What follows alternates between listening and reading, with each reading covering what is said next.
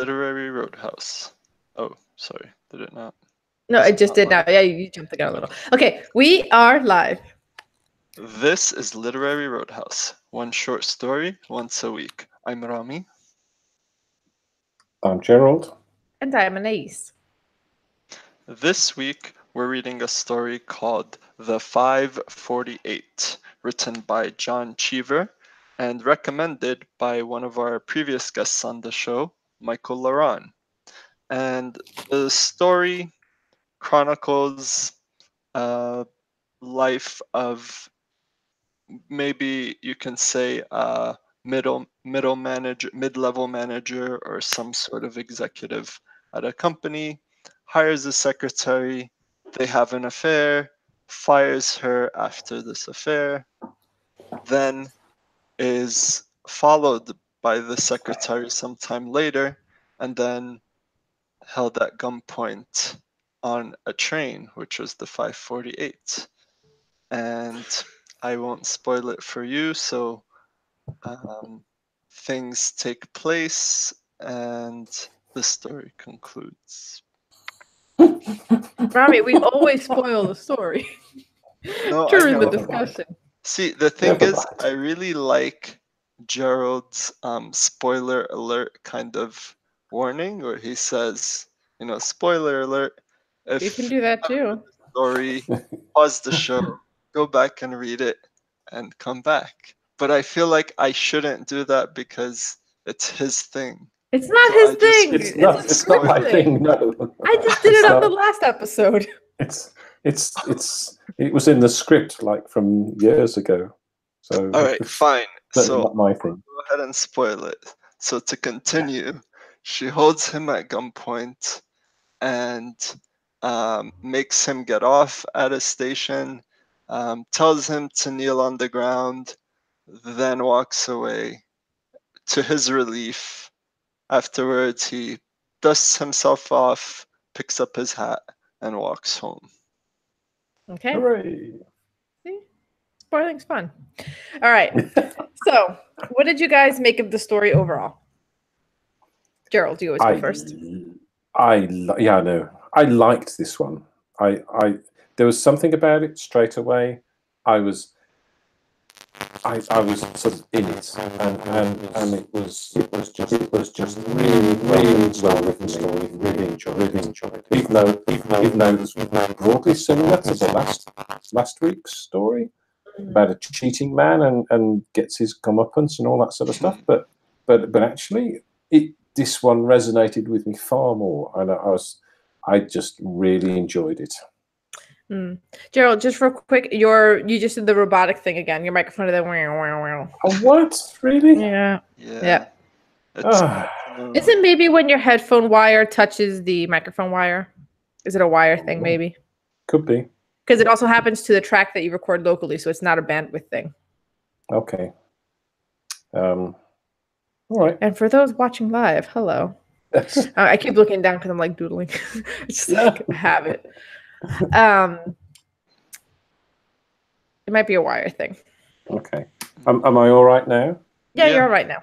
Okay. Okay, so Rami, what did you make Yeah. of the story overall? Uh, I, again, I thought it was pretty good overall. Um, it does have strangely similar themes to the previous story we discussed.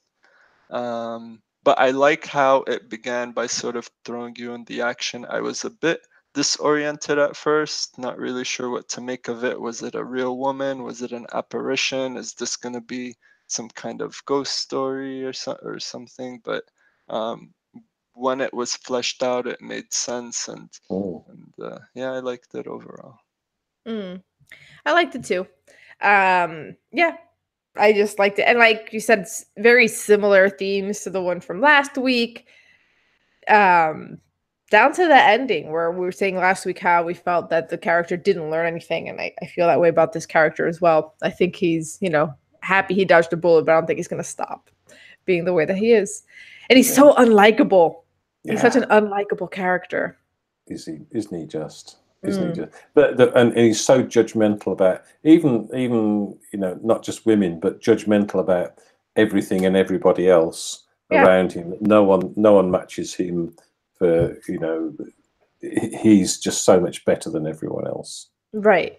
Which is funny because like he's judging his neighbor, Mr. Watkins, because Mr. Watkins is wearing a corduroy jacket, which somehow breaks the sumptuary laws, which he's confusing for like having morals. Like just because you're wearing like a beige trench coat or whatever, and like you look a certain way, doesn't mean that you're moral. And he's confusing those two things. Yeah, yeah, and I, and I quite, uh, uh, you know, from what Rami said, um, I quite liked the sort of mystery air of the woman that was. I, I, I quite like that like that sort of air of intrigue that that Cheever brought into the story, and uh, and and there's so mu- I love the detail that he brought into it too, and and having read last week's story again afterwards, I could see the same sort of detail, but I didn't think this is this is I think basically what, what it is is is that is that John Cheever is is my sort of writer. He Mhm. writes he writes the way I, I enjoy um, enjoy reading. But I was gonna say go Mm. ahead, Rami. no, no. you Say what you were gonna say. I was gonna change. Just that there's a sort of noir quality to it, especially when she's Mm. like chasing him through the city. That makes sense. 'cause That's the kind of stuff that you really like, Gerald. Mm. Yes, it is. Yeah, very good. I'd like to know what a Gibson is. I don't know what a Gibson is. Mm. Other than a Gibson. guitar. And Yeah, he goes- tell us. He has, goes to a bar and, and has a Gibson. Orders a Gibson. Yeah, what is a Gibson? You, wanna go you will tell us shortly. I will tell you. You know, I'm always googling. While, while you're s- looking It's that a cocktail, Oh. gin and dry vermouth, garnished with pickled onion. What? No. Yeah. Pickled onion. The oldest published recipe for a Gibson is found in 1908. Mm, Wow. Hey, I'm doing the quiz here. Oh, sorry. Well, I get a point. Oops. I, s- I won't ask any more questions. No, that wasn't a quiz question, but it sounds like it It could have been, yeah. Mm. So, Rami, what were you Um, gonna say? Yeah, just since we were comparing and contrasting this story and the last one, I think talking about the male figures, it seems like Horace um, from a rich man would have learned more of a lesson perhaps than the character in 540 and yeah in the 548 Why do you Um, say that? The character in the 548 could have there died. was, uh, there was a greater sense of loss Mhm. um, and you know maybe that might generally trigger like a change in behavior versus although traumatic it seems like it was kind of a one day incident and now it's over Mm. Yeah, I, I can see what you say that because because the loss to the um, to Horace was yeah it was was more permanent, wasn't it? He'd lost Mhm. some of his records and his, his swords had been broken, whereas this is just a temporary um, uh, temporary sort of embarrassment. So you would think he'd dust himself off and think, well, that was a bit crazy. But actually, I th- I think I think he, he would learn something from this, and he would think he would. I don't know. Maybe he'd learn to be a bit more careful about the women he had affairs with. I was gonna say just vet them a little more. Yes. Well, So that's that's uh, uh, another thing I wanted to ask is what did you make of the woman's hospitalization? Did you think that she indeed had mental illness, or was it just the symptom of you know the time that she was living in when maybe, well, I I don't know exactly you know what the latest you know research was at the time, but there were instances where just any kind of um, socially unacceptable behavior by a woman could be deemed as a type of mental illness or something. hmm Yeah, I mean, I think um, one of the reasons, Rami, when you were saying that the Horace from a rich man would probably learn a greater lesson than um, what's this guy's character? What's his? We don't know his Blake? name. We never. Huh? Blake. Oh, Blake. Blake, yes, that's right. Blake. Yeah. Well, but is that that's his last name, I guess? Yeah, Mr. Blake's Yeah. last name. Mr. Blake. But Mr. Blake, one of the reasons I thought you were going to say, which you didn't, was because he, the woman who pulls a gun on him is portrayed as crazy. So it feels more like a one-off, like, oh, don't don't screw around with crazy people. And what you're saying is, was she actually crazy, or is this a symptom of a t- of a more misogynistic culture that would um, institutionalize women for behave, you know, for behavior that wasn't crazy. I think Cheever would have signaled that more if that was a point he was trying to make, and I don't think that was signaled at all. Hmm. I don't know, Yeah. Gerald. Do you agree? Or Yeah, yeah. Because I, I, I after I'd, I'd read it, I looked at some some reviews and analysis, and, and a couple of them referred to the fact that they thought she was hospitalized because of the affair, but actually she says when Mhm. she's talking to him on the train, she says that she was in. She spent a lot of her life in in and out of hospitals. Oh yeah, Um, and, and she even she even expressed it apparently when she was being interviewed, and that and in the story it says Mr. Blake among his regrets was that he that didn't raise more of red flags for him when she had um when she had admitted to that. I would, I didn't I didn't realize it. she'd Mm, mentioned it during the interview. Mm. Oh, interesting. I thought it was. I thought that was it that or was it like the handwriting and other things that he thought were Yeah, sim- yeah, all of that, all of that. Yeah, yeah. Yeah. And and the thing is the fact that she is somebody who's been in and out of mental hospitals makes you want to dismiss this as almost an anomaly as but there's also a way in which is it only a woman who um like would a woman in the mid-century mid 20th century who had suffered the way that miss dent had would they feel that they were able to do this. A little bit like her mental illness gave her the freedom to do something that other women would have wanted to do, that they wouldn't have risked um, their lives really to do it, right? Their their livelihood, their jobs, their futures. Um, I don't know. My my only grievance with not the story, but I guess a little bit like the way that the main plot was drawn out was the the fact that she was kind of so crazy. Her letter was so insane, addressing him as dear husband. Um, it sort of detracts from the lesson that's meant to be learned here a little bit. Mm.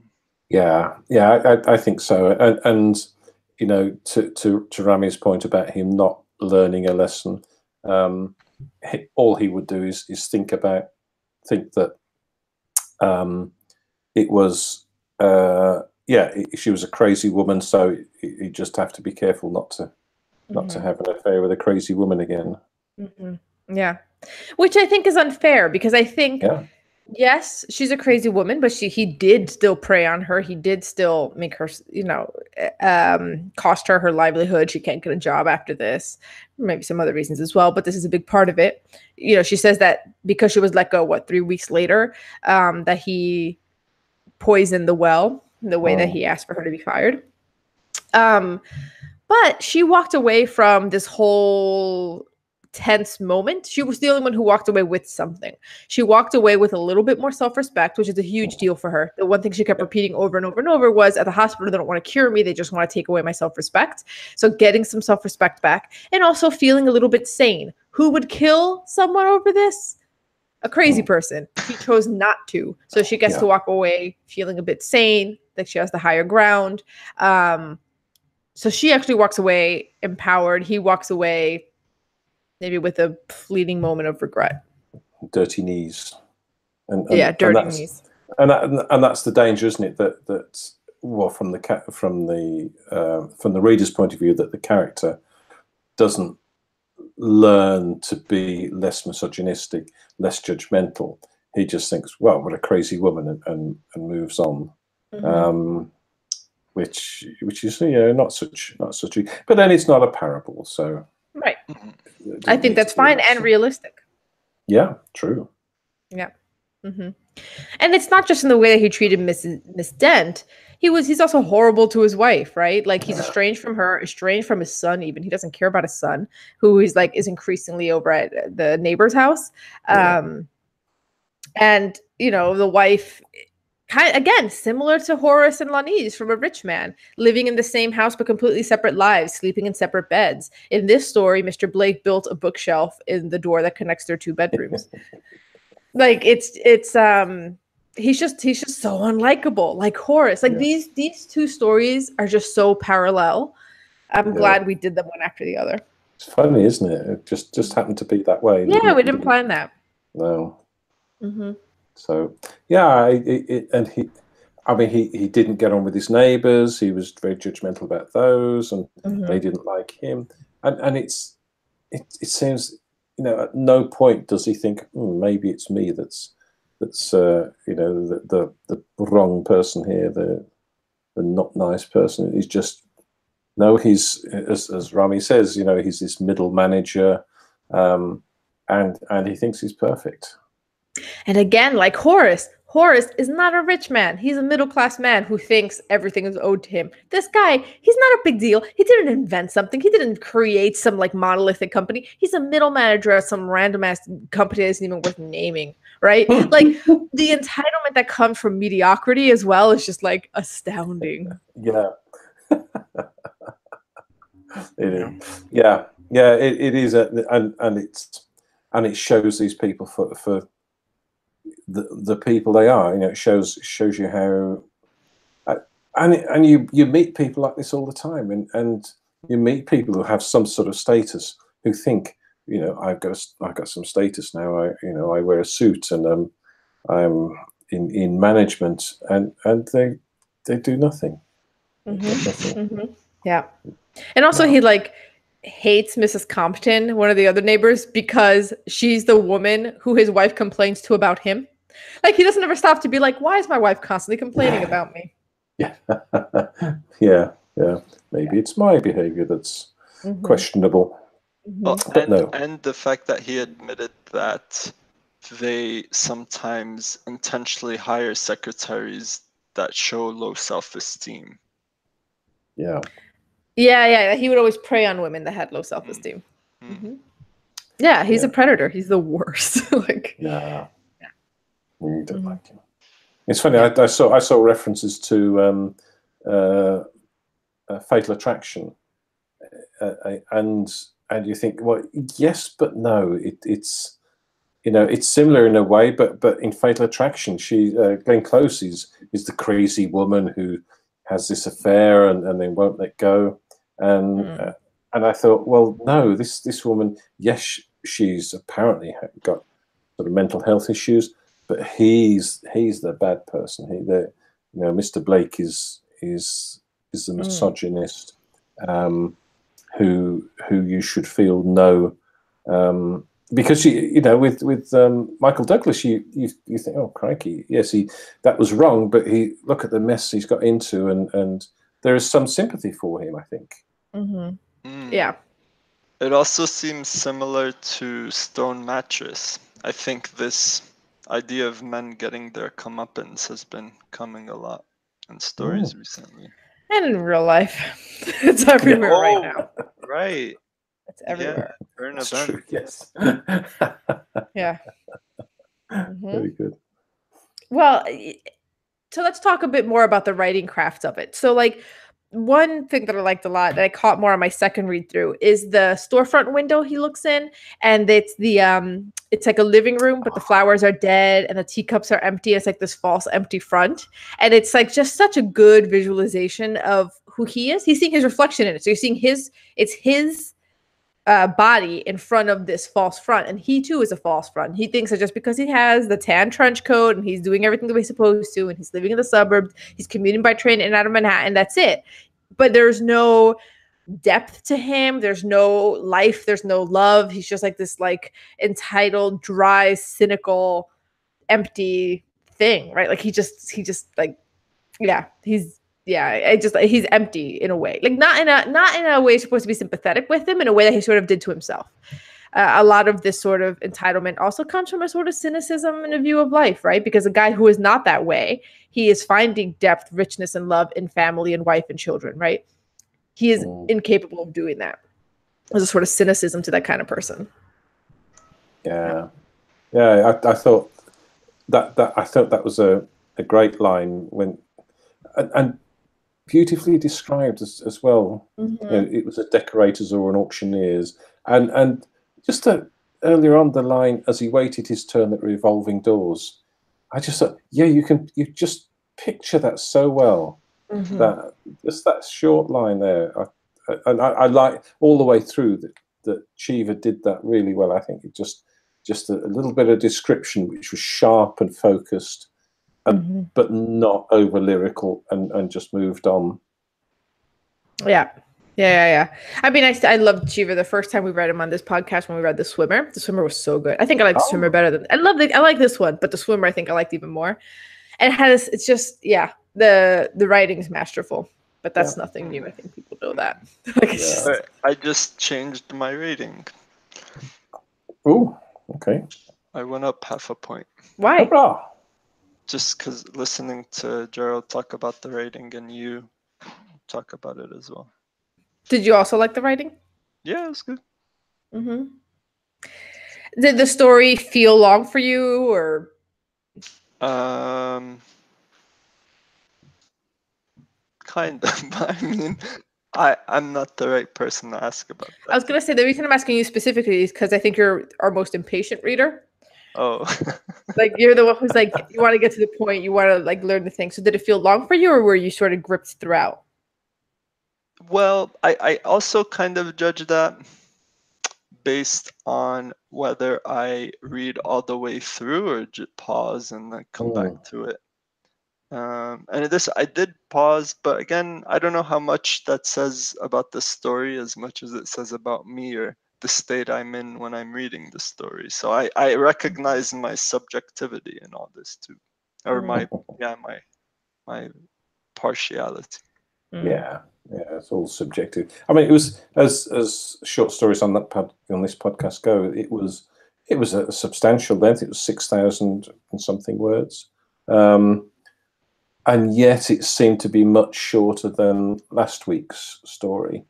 Um, Rich Man. It seemed that seemed to go on and on. And although the the, the sort of second half of that story had good pace, it, it, just I became aware of how long I'd been reading it. Whereas with this this story, it was I, I finished it and I thought, is that it? Oh, okay.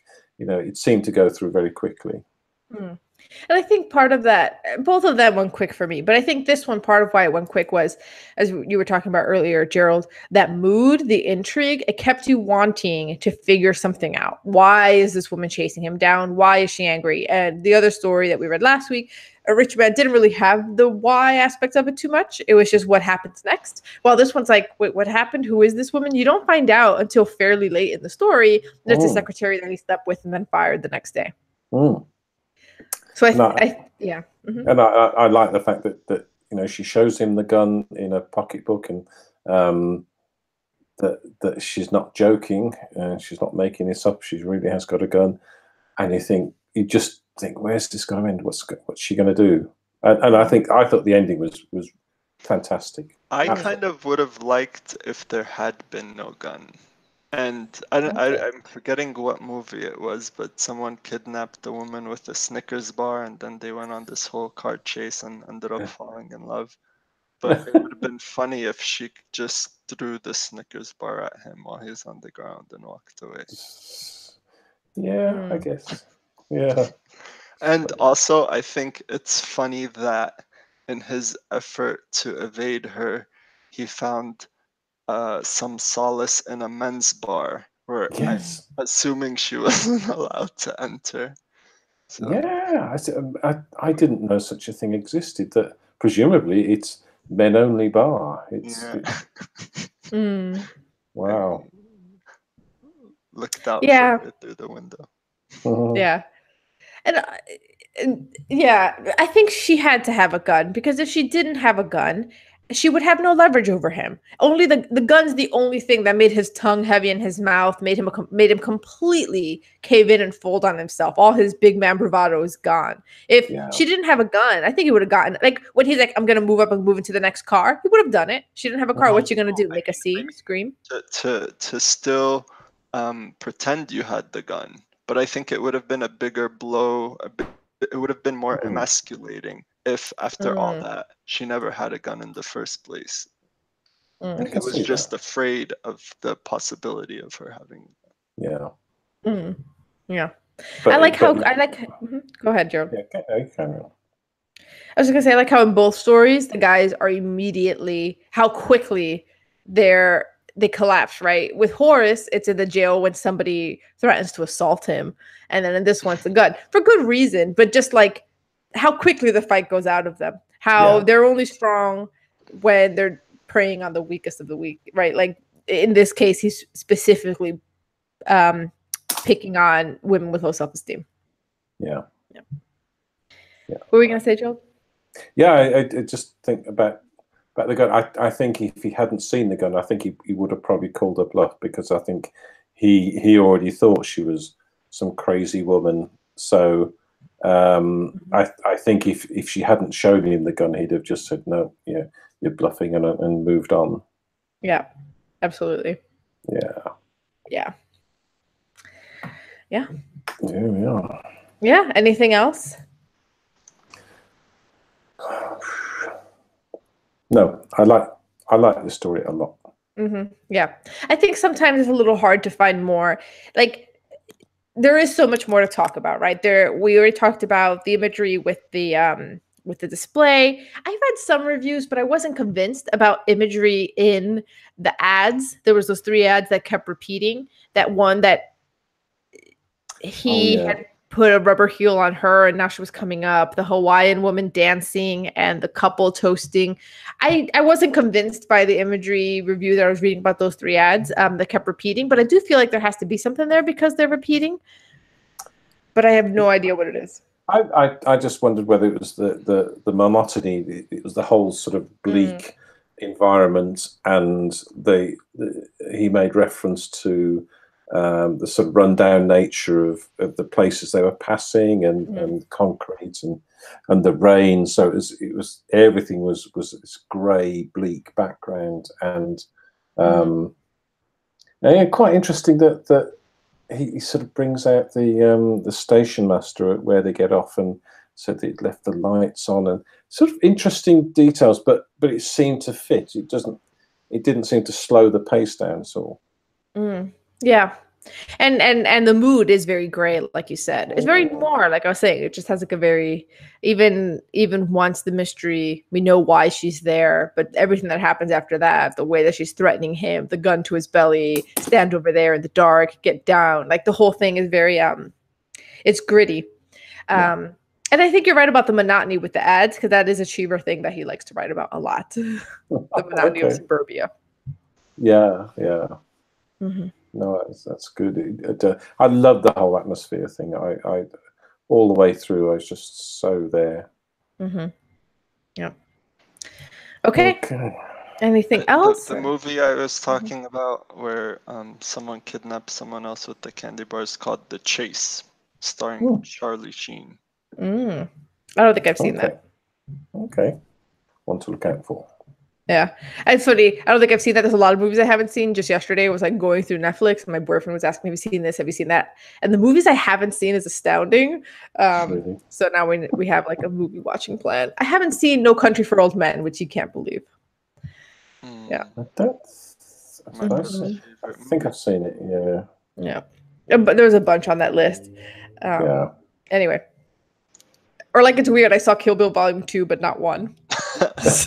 what? Wow, Yeah. That's crazy. that I've never Yeah. Never even I've never seen Goodwill Hunting. Just like No, I haven't either. burn after Yeah, reading another one. Yeah, I suppose there's yeah, there's a lot of it. I mean, we, we've we've had some. This is totally off topic, but we we've had some great um, TV drama over here recently. Mm. Um, uh, uh, and my partner says, "Oh, have you been watching it?" No, I haven't seen any of that. So so we have a huge list of, of things to catch up with. And and I saw the last episode of something that that there's like eight episodes for, and I thought, well, I've got to catch up with the rest of that. Yeah, we have a list too. That Yeah. for TV shows that we're working through. Yeah. Okay. Are we ready to rate? Okay. Yep. Um, five and a half, just like last week. I like them both the same. Hmm. Wow. I started with a five and I bumped it up to a 5.5 also. Yeah, and, and it's funny. I was just I exactly as Rami. I, I I started at five, and I went to five point five, and I thought, oh, this is five point five is a bit good. You know, is it that good? But but hearing both of yours, I thought, yeah, it, it is. There's no question about it. Five point five, lovely story. Yeah. All right, it's game time. What are we submitting? And Grammys win the game. Uh, I'll I'll go with um, uh, Kino by Haruki Murakami. Okay. And I'm submitting Occurrence at Owl Creek by Ambrose Bierce. Ambrose Bierce is an author that longtime listener Emily Craddock says that we need to read. Ooh, Interesting. Mhm. Um, guess what the quiz is about? uh, I have no guns, idea. rain, trains, Yes, train. trains. Trains, okay. automobiles. No, just trains. Um, Okay. And Gerald, I thought you'd like to know that I've tried to throw in a mix of US and UK relevant questions. Oh, thank you. That's very kind of you. Yeah. Well, I mean, and the fact that I think trains started in the UK. I think. Yeah, probably. Don't know. Pretty Yeah. Okay. Anyway, um, so who should we start with? Anais. Mm-hmm. Actually, I think we let's start with Gerald rather. Okay. Well, Whatever. okay. So whatever the first question is, he's trying to give it to based on whatever it is. Well, no, well, here you'll see why. It's because it's about something in the UK, but Mhm. then it's related to something Anais probably knows more about. I'm, Wow. I'm trying to help you out here, but I don't know who I should. Okay. Anyway, okay. Just ask the question. So I'll, I'll pick Gerald just Okay. because you're showing up first on my screen. So no offense, Anais. Okay. All right, I'm taking all the offense possible. Yeah. No. Uh, Gerald, yeah. what train is the real Hogwarts Express train that was used in the movies called? And it actually it runs every day. Um, is it the Atlantic Coast Express, the West Highland Line train, or the Brighton Belle? B E L L E. Wow. Um, yeah, you you were right. It's, it's UK, but maybe more NEs. Um, I will say, purely because you spelt Belle, the Brighton Belle. No, it's the West Ah! Yeah, I knew that one. Got one. me. Yeah. Got me. Well done. Yeah. All right, Anais. In what year did the miles of railroad track in the United States reach its peak? Was it 1916, 1921, or 1932? 1916. Yes. Oh yeah. Bonus that year, there were more than 250,000 miles of track, enough to reach the moon from the Earth. Wow. Wow. That's a lot of track. Mm. All Oh, right, Gerald. okay. Yep. Built in the UK in 1831 and named after a famous UK personification, but put into operation in New Jersey, this is the oldest still operable railway steam engine in the world. Ran between 1833 and 1886, 1866, and it now can be seen in the Smithsonian Institute. What, what is its name? Fred Smith, Jamie Oliver, or John Bull? I I would guess John Bull. And you would be correct. Hooray! Yep. All right. Uh, Anais. Right? Yeah. Mhm. Built in 1829, this little engine beat out four other models in trial runs and achieved a top speed of 24 miles per hour. With a huge smokestack in front and pistons um, to drive the wheels, it looked as unusual as its design, and it operated between Liverpool and Manchester. And it was called by what name? Rocket, steamship, or airplane? What? Okay, rocket, steamship, or airplane? It had it had well yeah it just it had a top speed of 24 miles per hour. I don't know. Steamship? Nope, it was called the Rocket, Stephenson's going at a blistering 24 miles per hour. Yeah. Okay. Mm. Okay. All right, let me just keep track here. Um, I think we're one one right now. Yeah. You're right. Oh, okay. So there's a tiebreaker though, so in case both of you get it or don't. Um, Gerald. Oh no, let me see here. Fine, I'll just go in the way it was. In what year was the first Continental Railroad completed? 1854, 1869, or 1901? 1854. Mm, No, 1869. Oh. Okay. Yeah. Um, let's see. Two, two. Okay, so th- is this the last question for Anais? Yes. Yes. Mm-hmm. Okay. Yeah, this is why I should have switched. Okay, Anais, this British civil engineer is credited with inventing the steam engine for trains. What's his name? George Stephenson, Robert Lowell, or Alexander Porter? The second one, Lowell? Yes, correct. Wow. Woohoo! I wouldn't have got that. Anais wins. Very good. That was a guess. Don't be so impressed. All right, uh, wait. Bonus question for who anyone wants. According to CSX, a leader in freight transportation, trains can move a ton of freight nearly 450 miles on how many gallons of fuel? 10, 1, or 25? A ton of freight. It's got to be the 25. yeah, 25. Uh-huh. That's what I thought too. It's actually 1. No. Yeah. Wow. Very good. Yeah. Wait, the, so there's this that wasn't the, the tiebreaker though. This Okay. is the tiebreaker, and I just really like it, so I want to share. Okay. So Japanese trains are known for their sharp time schedule. If a train is even five minutes late, the passengers get an apology and the certificate that they can show at work to prove that they were delayed because otherwise nobody would believe them. Wow. Yeah. On the rare occasion that Japanese trains are one hour late or more, it can even make the news. So, what was, what would you, based on the information I just gave, what was the average delay of a train in Japan in 2012 in time? Four minutes. No, I, I, I would say something like 10 seconds. Mm, and Gerald would be closer. It's 0.6 minutes. What the hell? Yeah. Wow. they are they are incredibly punctual. I've been I've, I've worked in Japan and and they're amazing. And, and Mhm. and they on the platform they have little marks where the doors will be and the doors are there. They they're just it's Wow. fantastic. Wow. Yeah.